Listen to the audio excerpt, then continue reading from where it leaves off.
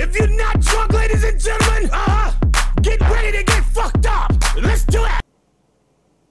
Hey guys, so I want to talk to you today about Machete Kills. It's in theaters right now, and um, I know a lot of you are thinking, hmm, should I see this one? The sec, the first one was good. Is the second one gonna be good? My personal opinion on this one: don't go see it in theaters. Okay, it, it, we all know it's gonna be blood, gore, sex, violence, all that sort of thing, and we all love it. And hey, Charlie Sheen is president. Dear, still can't believe that. But anyway, um don't go see it. Redbox it, Netflix it when it's available.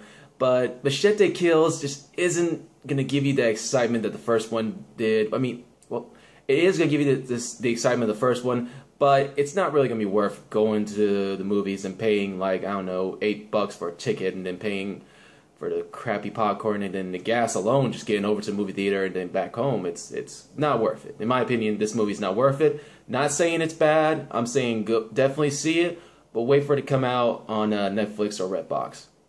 Okay? Well, that's all the time I got for you today. Later.